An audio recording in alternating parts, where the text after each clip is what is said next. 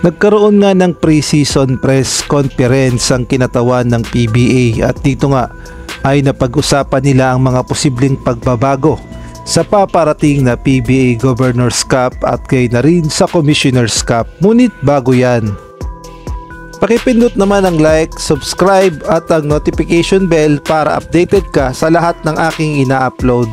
At kung gusto mong magpa-member sa aking channel ay pindutin mo lamang ang join at automatic na sa mga shoutout.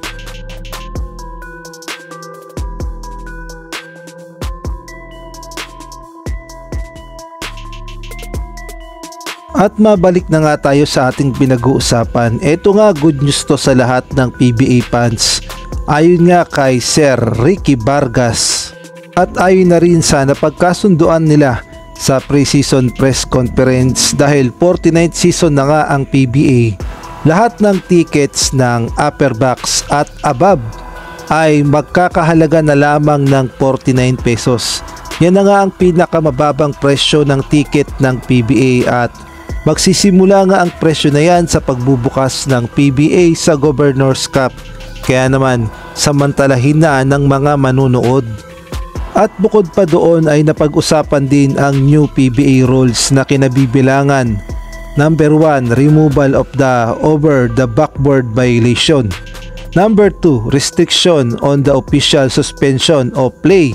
15 seconds leeway for players. Number 3, coaches hash mark. At ang number 4, 4 point shot. Ayan nga ang bagong new rules ng PBA. At sinabi din ni Sir Ricky Vargas na aprobado na raw sa board ng PBA sa second conference o sa Commissioner's Cup na magkakaroon na ng unlimited heights sa mga import. At meron na rin na 90% na magkakaroon ng guest team sa Commissioner's Cup. At ang tinutukoy nga na guest team na maglalaro sa Commissioner's Cup ay na rin mismo kay Sir Al Francis Chua walang iba kundi ang Hong Kong Eastern Long Lion na nakabase sa Hong Kong. At naglaro na nga rin ito noon sa ABL o ASEAN Basketball League kung saan nakaharap din ito ng Alab Pilipinas. At masasabi nating malakas talaga ang Eastern Long Lion kumpara naman sa Bay Area Dragons. Kaya naman magandang laban talaga ito para sa lahat ng mga PBA teams sa Commissioner's Cup at ibinida din ni Sir Al Francis Chua ang bagong lineup ng Barangay Hinebra.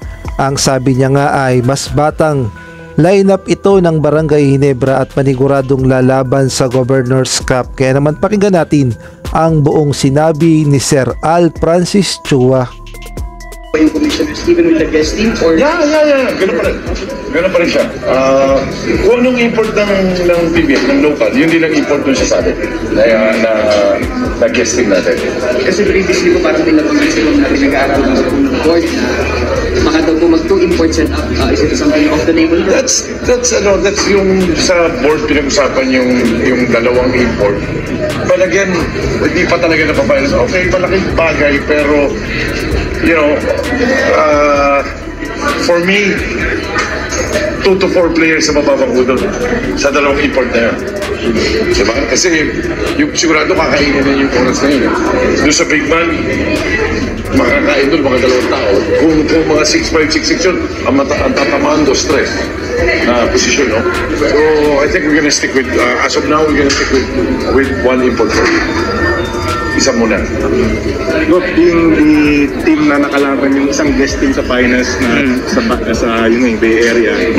Ano, how, how are you looking forward to it na meron ulit kayong makaharap na isang guest team na sinabi nyo mas malakas, baka mas malakas pa sa Bay Oo, Area? tingin ko mas malakas to, no? O- One. Two, may mga ibang players kasi doon na naglaro sa Bay Area. eh. Sila, ano, baka maglaro daw din yung tatlo, no? Kasi, di ba, nagkagulo nga yung liga sa China, so nandito sila. And I know this team na na na Eastern gumagastos na kaya nga si Christian naglaro sa kanila no? Ah, makita natin but uh, for sure ang kaya ko sinabing mas malakas because now they na-experience nila how, how, how the way we play. Tapos na na-experience nila makalaro dito, yung mga ibang player doon, so makaka-adjust na yun pag naglaro dito. Kaya tingin ko ma- medyo malakas ng to. So maraming excited sa Hinebra eh with the new players. Mm. Sabi mo dun sa like dala na si RJ.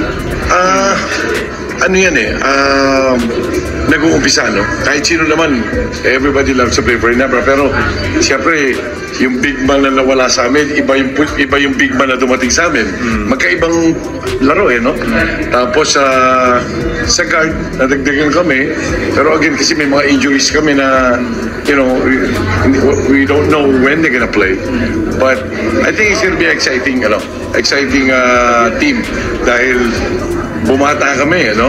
So makikita namin yung ano, but expecting too much for Hinabra, hindi mo na siguro. Pero tingin ko dahil dun sa sa ganong nawala, mm, mas magiging agresibo yung iba eh. Kasi alam nila merong nawala sa amin ganito, yung mga papalit, tingin ko mas magpapakita.